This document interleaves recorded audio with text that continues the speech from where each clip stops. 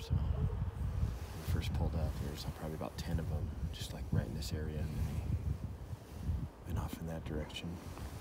My dad's kind of doing the loop around to force them back this way.